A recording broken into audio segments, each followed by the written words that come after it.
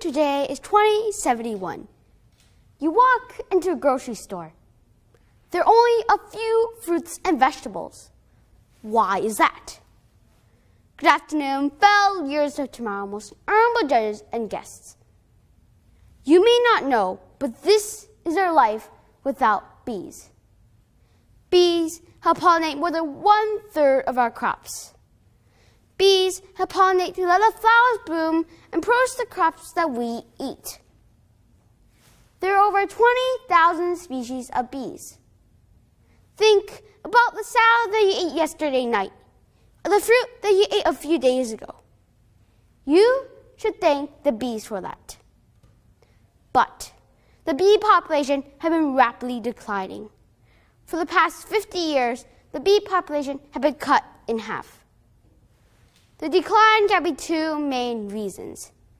One is pesticide. Pesticide is a chemical that farmers use to kill off harmful pests. If it is used in a high concentration, it will go through the roots and up into the nectar and pollen. And if a bee lands on top and consumes a high dose, it will twitch and die. And if a bee consumes a low dose, it will get intoxicated and cannot find its way home. Second, flowerless landscapes. Farmers stopped planting cover crops like alfalfa and clover. Instead, they mostly plant agricultural crops like corn and soybean, which don't have flowers. And those fields can turn into food deserts for the bees. If a bee flew to every field and could not pollinate anything, it would die of hunger. So what can we do? We can stop using pesticide. We cannot use a high concentration of pesticide. We can plant flowers. Plant flowers without using pesticide. If we can replace a lawn with a land of flowers, it would be so much better for the bees.